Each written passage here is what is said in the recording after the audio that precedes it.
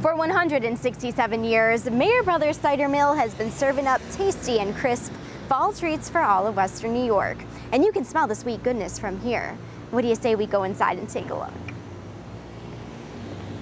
And from the delicious sweet cider to the decadent donuts, thousands of people have made a stop to this historic spot because of this fall staple. Garrett Mayer, owner of Mayer Brothers Cider Mill, joins us this morning.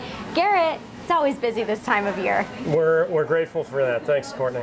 Talk to us about what is happening here. For many, it is a fall tradition, but for those who haven't made their way out, what can you expect?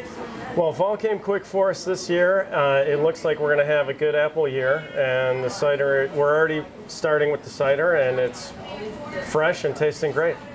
From the apple pies to the apple cider, where are we finding the apples to make these delicious treats? Well, that's I'm glad you asked. Buying local is really important to us, and right here, we get our apples from as close as Gasport, Niagara County, Wayne County, and uh, that keeps it as fresh as can be. So we're supporting local growers, local truckers, local pickers, and right here behind the wall, we're grinding those apples up, squeezing them into, into apple cider, and it's right here. No preservatives as fresh as you can taste you can taste it. It's great. This takes a lot of hard work passion time that your family has put into this operation.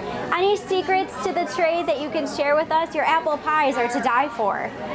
Thanks. Practice makes perfect and uh, we have a very dedicated crew of, of people that come back every year to work in the store and year round we, we make cider year round so we have the same people and they have the same passion we do, and we're constantly trying to improve what we're doing here, and um, yeah, we're happy about it. Not only are you a cider mill, but you are a bakery, hence the amount of Western New Yorkers making their way through the door right now.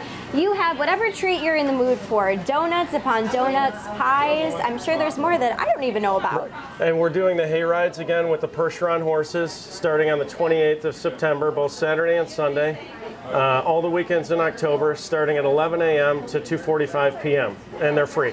Awesome. So yeah. we can all put that on our fall to-do list here in the 716. Once that day comes, we'll have to check Mayer Brothers Cider Mill off the list. But I'm telling you, you're going to want to come back here for more and more because it seems as if you walk around the mill, there's all fun fall trinkets to choose from. Something you're excited about, yeah. Thank yeah, you. Absolutely. Gary, thank you so much for having us come out here again this fall season. Always at the top of our list here on AM Buffalo, Mayer Brothers Cider Mill. Come on out and get a taste of fall.